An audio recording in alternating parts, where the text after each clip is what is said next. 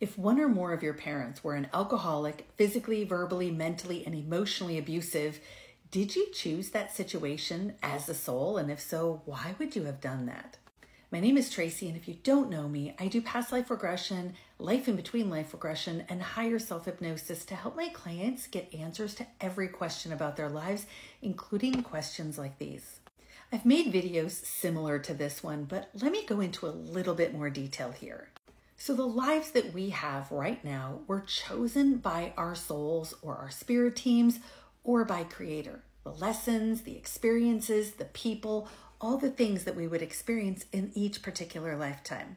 The conscious mind that we have here, the personality or the persona that we have here in this lifetime, played zero role in picking what would happen in this lifetime. So imagine this you're up in the spirit realm, your team gets together with you and says, Gosh, you really need to learn patience and forgiveness and how to accept things that happen to you that you can't control. And those are the three things that you're going to work on in this lifetime. And as a soul, you may be like, oh gosh, those are going to be really tough. But yeah, I know I need to learn them.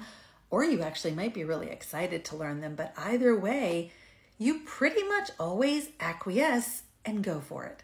A lot of times when I'm helping people in their sessions and they look at lives in between lives, they say that maybe they helped pick out their parents or the people who would be their teachers for these lessons. And sometimes they say, I really didn't help because it doesn't really matter who the teacher is. I'm going to get the lesson regardless, so it doesn't really matter. And then they allow Creator or their teams to put the parents and the families and the friends and the partners together for them to learn these lessons. So remember, everyone in your life is a teacher, just like you are a teacher for others. You rub people the wrong way. I rub people the wrong way. We are a teacher for everyone, as everyone is a teacher for us.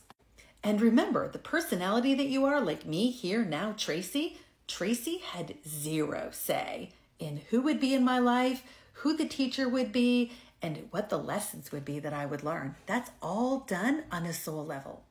So let's dig into that question again. Why would someone choose to be born to an alcoholic, physically, verbally, emotionally, mentally abusive parent?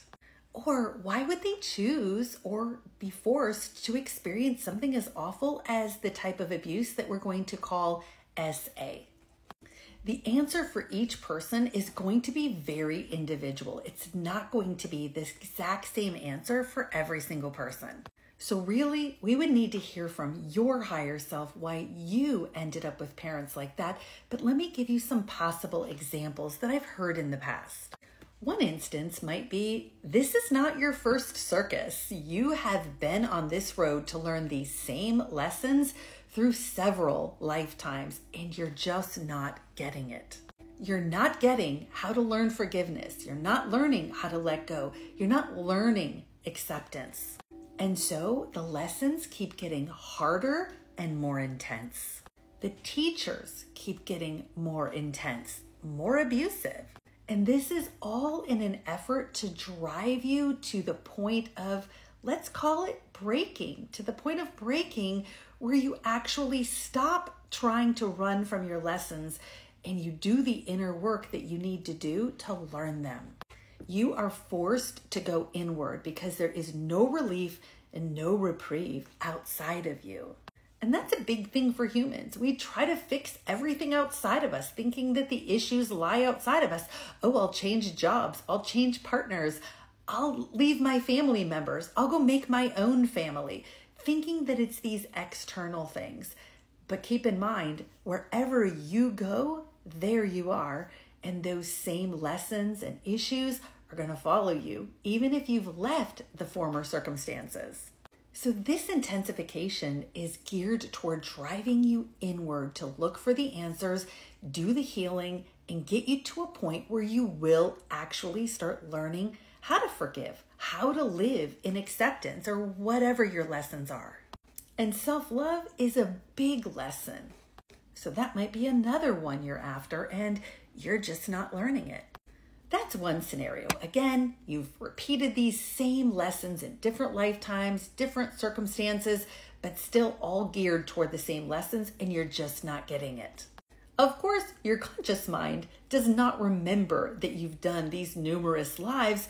Your soul is the one that knows that. So your conscious mind is getting all frustrated and feeling sorry for itself and why is this happening to me? And it just doesn't understand this is not your first rodeo. And the heat had to be turned up. Another reason might be is because maybe you played that very role in a previous lifetime.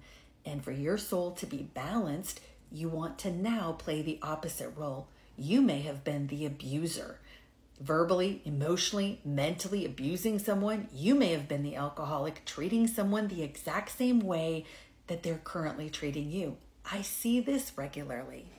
You might call it karma, but really it's just your soul deciding, hey, I did that. I want to know what it feels like to be on the receiving end of that so I can have a balanced perspective of this.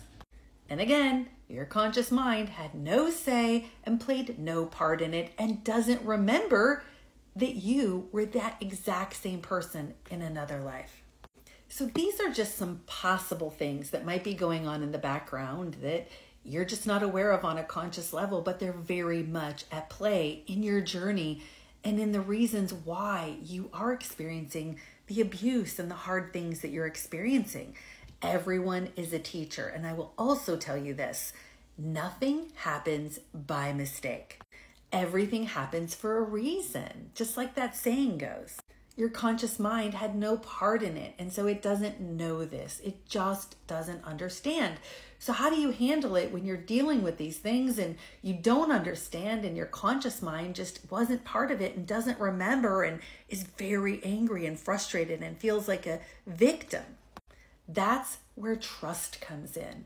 Trust and going inward and doing the work and the healing and looking at everyone in your life and saying, What are you here to teach me? not pointing a finger at that specific person, whether it be mom or dad or someone else, but saying, You're just a teacher. You could have been anyone. You're my teacher. What am I supposed to learn from you? Because until you learn the lesson, you're going to keep repeating it. If you're meant to learn forgiveness, if you're meant to learn acceptance, if you're meant to learn self love, you are going to learn it one way or another, whether it's in this lifetime or the next one or the next one or the next one. It might seem unfair because your memory gets wiped in between lives, and how are you supposed to carry on and remember and move forward? Don't worry, that's why you have a higher self. That's why you have a spirit team. If you go inward and tap into them in meditation, spending time with them, talking to them, they know. They know what your lessons are. They know what you've experienced. They know how to help you out of this situation.